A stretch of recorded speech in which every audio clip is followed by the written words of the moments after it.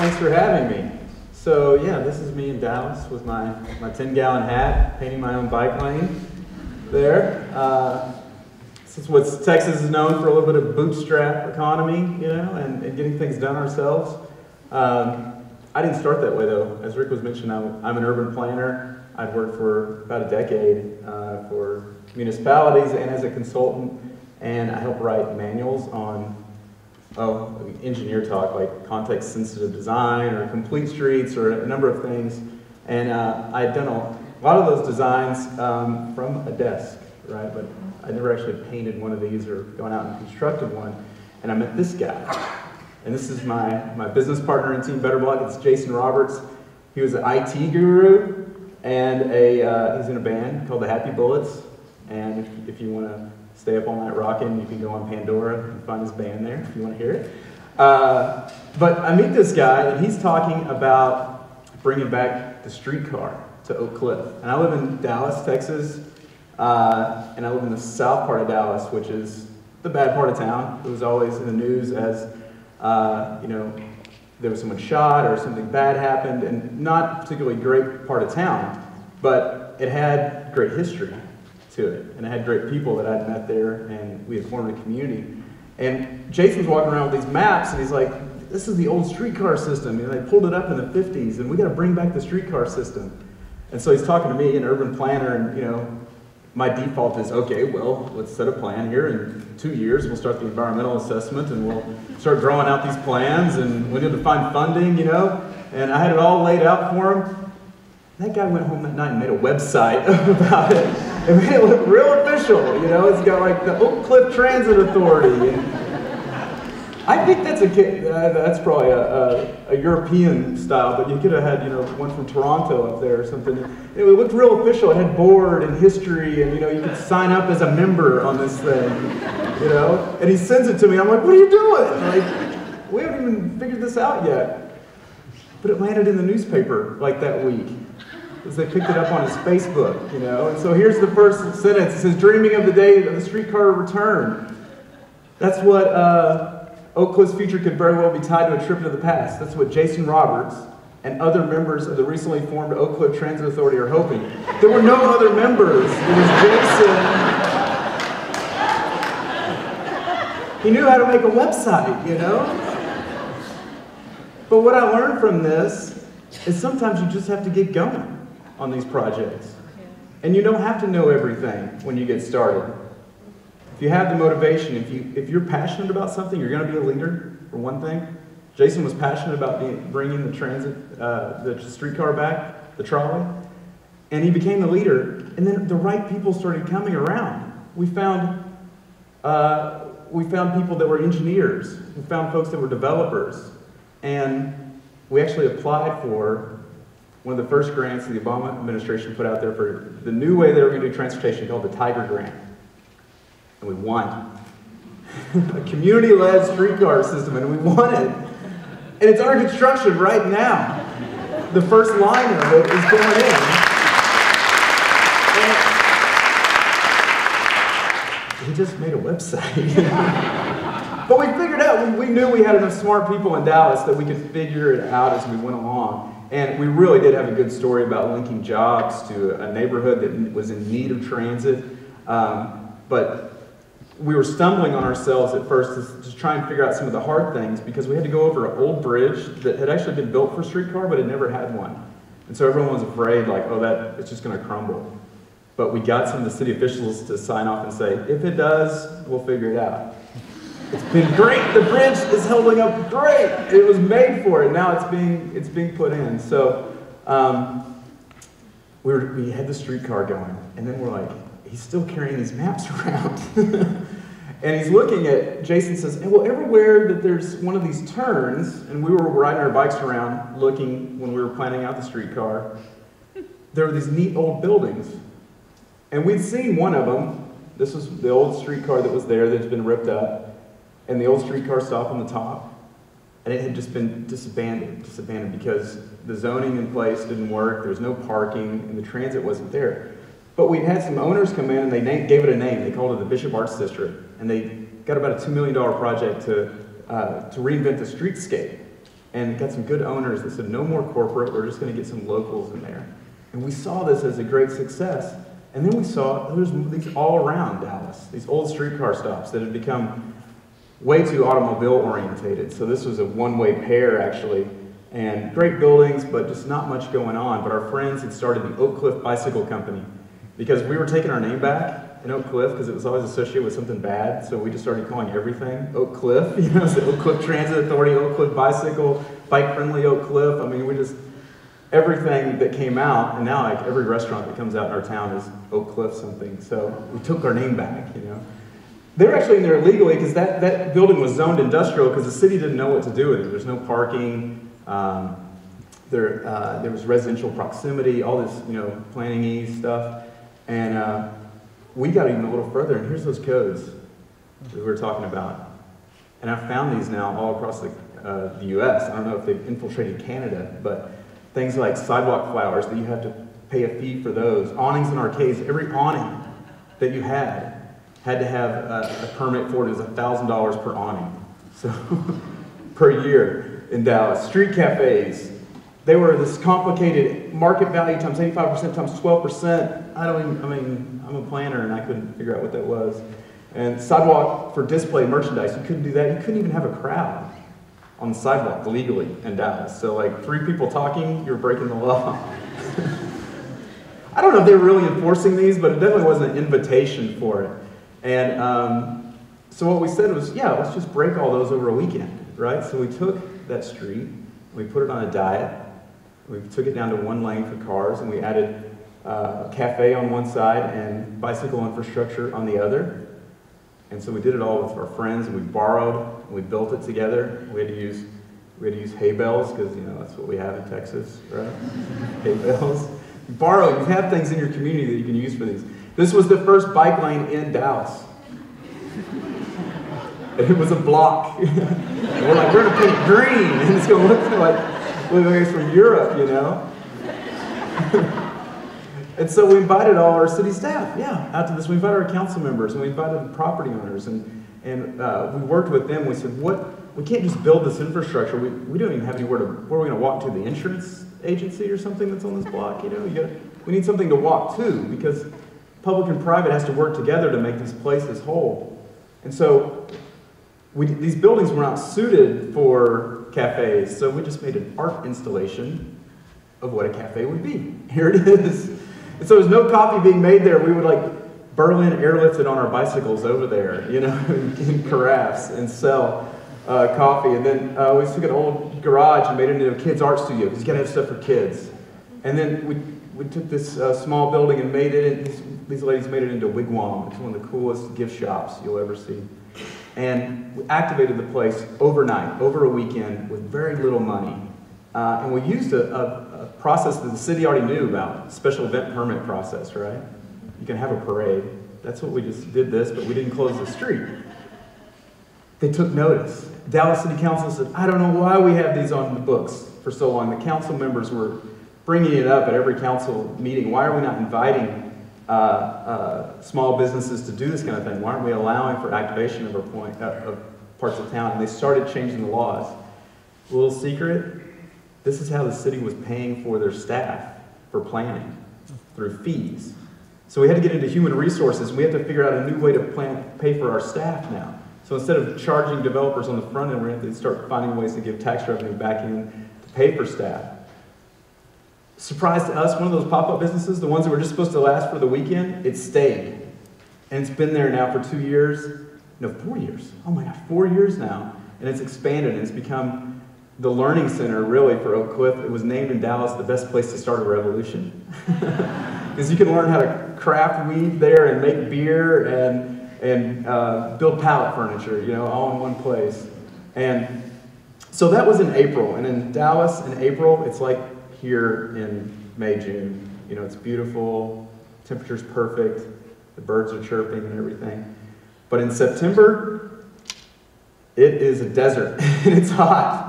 And so we chose a location, a, state highway that um, just, I mean, there's no trees. It had the great building form, you know, to it for Texas. This is great building form, by the way. It had a pole over here with nothing on it. I don't know why. It's, you know, it had a parking lot that it kind of started taking over. And we said, we worked with a SWA group, a landscape architecture firm, and we said, we've got to totally reinvent this street. They were going through major zoning changes in this. We are trying to get the street changed. No one could get on board with what was happening. They didn't understand why, why do you want to change the state highway? It's perfect the way it is. And so we did. Over a weekend, we borrowed 60 trees and 100 bushes and realigned the street with streetscaping. You know, it's like you wake up Saturday morning to go get your paper, and this is what you see, and you're like, where is this place? And we took that pole, you know, that had nothing on it. We put bikes on it because we'd become the bike part of town, you know. So we made a, a, a homage to that, and we took those parking spaces that were hot, and we made the shade, and we put cafe tables out there, and amazing in 100 degree Fahrenheit weather, Dallasites sat down, and we couldn't get them to leave we broke all the myths about that. Everybody's got bad weather at some point or other, but if you make these little microclimates, it'll work. And we painted our own crosswalks. You're not supposed to do that. Don't do that. That's, it's not allowed. here's those trees. Yeah, they were going to a hotel, and we were just like, hey, can they fall off the truck for a few hours here? You know? They're great. I mean, they just kept coming off. I love this picture because we'd had all these. Um, renderings in our city of new development coming in, you know? And we started getting like rendering fatigue. It was like, I think like the last developer would just take the, the, the, the rendering from before and just add more people in it. And, oh, maybe a balloon here, you know, or something. And, and no one understood why, why are we talking about walkability in Dallas? I'm going to drive my car, you know? And they got it after this because they rode their bikes. They walked out of the neighborhood. They came to it. And that's a real picture. Those are real bikes from my neighborhood. And people started interpreting and giving language to the city that they'd never had before. And this kid, it's a tree, you know? Why is that here? and I really, I started, my mom, uh, she never understood what I did as an urban planner. I was like, well, I'm planning, and there's things 25 years in the future, and you'll see, you'll see, mom. And when she came to this, she got it. She's like, oh, you're creating the sewing circle. You're creating the gathering part, You're creating the place where we where um, people come together, and, and, I was just like, ah, I didn't, I don't have to explain what I do anymore. People just got it, and they got it without changing the zoning at first. They got it without new infrastructure. They got it out of tradition and just making common sense changes. So this is a building. Actually, this is about a block off the Better Block there in uh, September 2010. And you can see it has bars in the windows, very unkempt, you know. After the better block, they got it. No notice on the window to do this, no economic incentive. They said it's good to do pedestrian-oriented front door. And they learned out of tradition, and, they, and they've even changed this now a few times how they've done it, but uh, they got it. They built, started building a tradition of that. The same thing here, you know, that mirrored glass on the, uh, this is before the better block, and you're like, what's behind that mirrored glass? You know, is, it yoga or maybe? But, and then afterwards, a really good retailer came in there, beer and wine. And I mean, not just like a chain store, but this is a person that came out of the neighborhood that now gives every time the kids want to do a bike ride. He's a supporter of the community. And it's like, this was the best real estate uh, uh, uh, searching we could do. We found the right person to be there. So it's not just building a building, it's building the character behind it. The city of Dallas took notice again they redirected a million dollars that was going to go toward a median project. And they said, do that, do what that Better Block did, you know? And so what we started to learn was when we went to our city council members and we went to our city staff, it wasn't enough just to have an idea and just lay it on the table and let them try to run with it. We had to get 90% of the way there. We had to myth bust if we had to do it on walkability, uh, on bicycles, on transit. And we had to get it there. And we knew if we did, that we had enough smart people at City Hall and our city councilors that they could get it over the finish line. But they needed our support. And lo and behold, that Better Block won American Society of Landscape Architecture Awards for communication. And that's where we started to understand, oh, that's the power of this project, is that it creates this whole different language that people start to use with their city and a whole different way of approaching community outreach or engagement for, for city building. that it's not enough just to uh, set at the planning table, that we actually have to get out there and plant the tulips a little bit. And so we just started doing this with everything, you know? We were just, when, anytime someone would come to us with an idea, we just say, let's go try it, you know? So we had a group in town that wanted to do a dog park. And uh, we had a couple dog parks in Dallas, but there was only a few. And they said, we want a little community dog park, you know, just one in our neighborhood we can walk to. We only had these really big dog parks in Dallas. And so uh, we went, they'd gone to the city, again, with the idea. And the first response back was, well, you need 20 acres and it's to be a million dollars. You got to build parking lots for 75 people. You know, they had one idea of what a dog park was in Dallas. And they're like, no, no, we want the little community one. So we said, well, let's try it out. And so the group said, all right, let's have a fundraiser. And, you know, maybe in six or seven months, we can raise enough money to actually build this small dog park. And then, uh, you know, we have to go through the permitting of that. And, and have to understand, Jason and I have a little bit of ADD, so we're just like, no, no, no, let's just go across the street right there and just do it this weekend. You know, the abandoned lot was been dumped on, you know, and, and and make it look great. And it's, it's actually city property, but they're not doing anything with it, you know? And so we did, you know, and we made it look real official. You put a, you make a sign that looks just like their sign. And what, and I had, I had some fence. I used to own goats, so I had, you know, in Texas, so I had some goats. But we borrowed their fence for the day, and uh, we, we found out actually that dog parks are more about people. There's needs more space for people than dogs because there was all this community gathering and people sniffing going on there. I think there was some, some love matches made that day. and, and more room for kids too. The dogs, man, they, they could find out wherever. But um, now we've got a policy in the city where we can have these small dog parks. We don't have to have all the, uh, the large uh, stuff. And so we just kept finding places. We're like, where can we go in Dallas that is just the most desolate, uh, just harsh environment that no one wants to be in. And that's City Hall. we got I.M. Pei. Anybody, y'all have I.M. Pei here? Just this big, you know, the Death Star. This is where they filmed Robocop, by the way. they filmed Robocop right here. And I mean, this guy loves it, though. He's.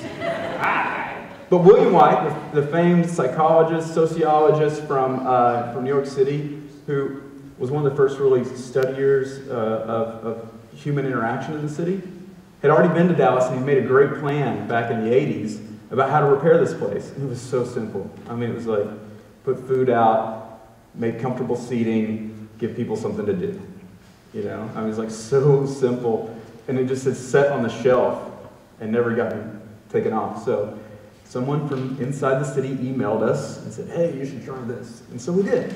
and we built our own furniture out of pallet wood and springs. and those are our city council members out there playing in the, uh, uh, in the plaza. You gotta realize there's 1,800 employees in the city of Dallas, and this plaza is sitting there vacant most of the time. So we made things for kids. We brought a, uh, a food vendor out, so we had to have crepes, right? Because Dallas is known for crepes. No.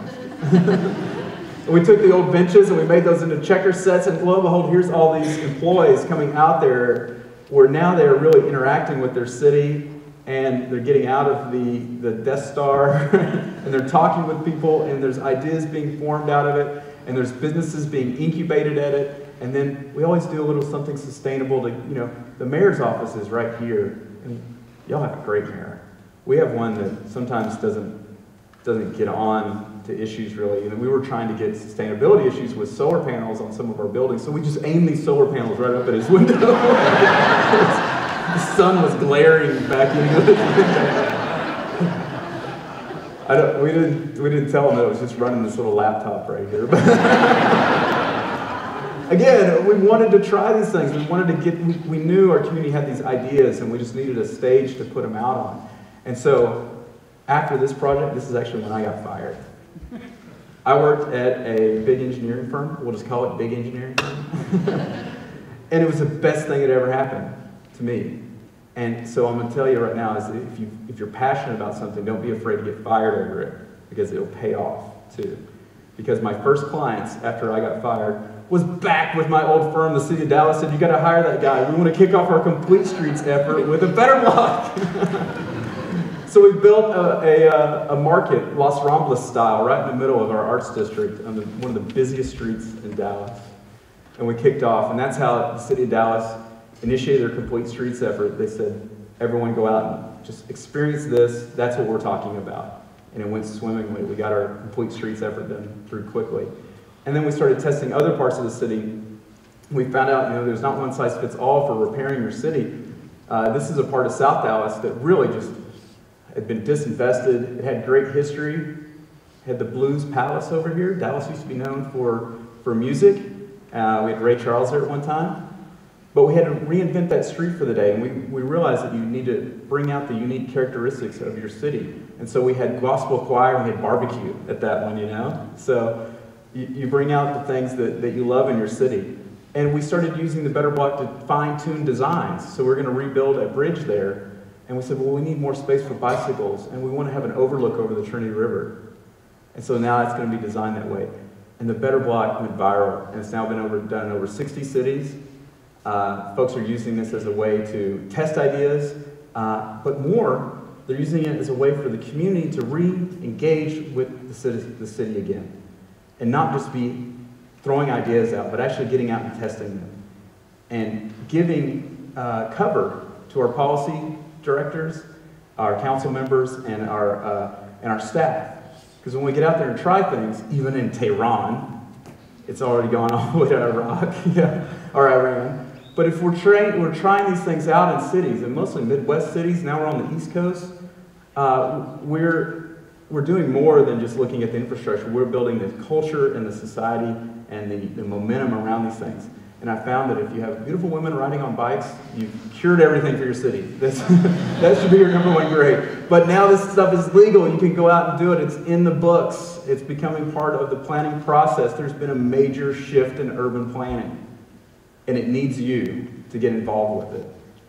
For Guelph to reach its goals that it has, it can't be all top down. I know you folks have tons of great ideas and you can't just voice them. We've got to get out there and we've got to try them together. We're going to learn from them. We're going to safe test them together. I love that. Safe fail, right? Because I've shown you a couple of our successful projects. We've had ones that I've learned so much from, you know? And if you don't just get out there and use the scientific method and try these things, you won't know. You won't know the full potential of Guelph. So thanks for having me, and uh, really good talking.